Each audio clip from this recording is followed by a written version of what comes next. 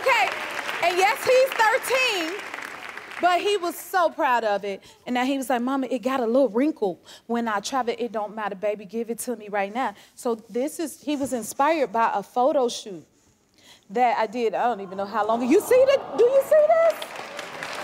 So that's the real picture. And at first I thought this was a picture, but he actually drew this. Right? Isn't it nice? And it looked like me. And you see these nails right here, child, look right here. He even put the detail in it. Because right there, there go my fingernail. Ain't I a mama right now? And look, you see my lips and my nose? He got the details in there and everything. Then the little, the little feathery stuff that you see on the picture. I said, baby, give me my picture. J luckily, I got the platform to show the world, so I'm gonna make everybody look at it.